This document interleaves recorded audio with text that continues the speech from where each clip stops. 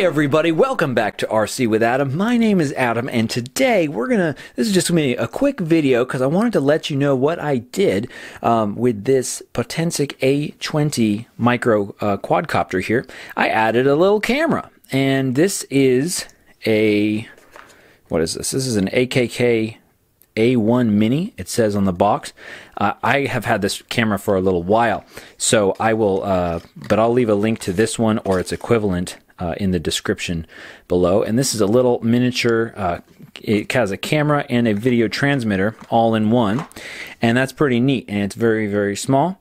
And uh, this quadcopter will actually carry this, so that is uh, that's pretty cool. And I was trying to figure out how to wire this thing up. I was like, man, I, you know, I gotta, I, I, you know, took everything apart and I uh, broke it all down and I desoldered some stuff and I soldered it back and put it back together.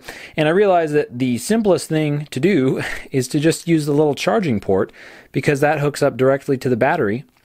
So um, I actually this connector I actually uh, made. I, I, took a larger connector and then just kind of chopped off the other sections so that it would fit in here. But I'm pretty sure that the actual um, the standard connector that comes with this little uh, video transmitter would fit. I'm pretty sure that would it was it's made to fit that kind of uh, connector, and you just plug it in right here, and it comes on, just like that. So this way, um, now of course it does you know suck the battery um, a bit more. But uh, this way, you can, uh, when you want to fly, you just turn on your quadcopter here, and then you can just plug in your um, camera, and then there you go. Then you've got video, and you've got your quadcopter working. Right now it's low battery because I've been flying it a lot. And then to actually mount it on there, I just uh, decided to use this uh, this foam adhesive tape. Um, and it works okay. It kind of falls off sometimes, but actually now it's on it's on pretty darn good now that it's been on there for a little while. So that's probably just the simplest way to do it. And it really it's it's a lot of fun. You can have uh, fun, brief flights because you don't you don't get a whole lot of flight time, but it is actually quite fun and actually handles uh, fairly smoothly. Of course, this is you know you don't have a um, you don't have a full uh, throttle control because this does try to do altitude hold for you. Um, but you can kind of work your way around it and still fly around and have a good time. In fact, here's some flight footage um, that I took uh, just flying around the garage. And that large silver thing is an airplane, in case you were wondering. Uh, it's a Zenith 750 Cruzer that my dad and I are building in our garage.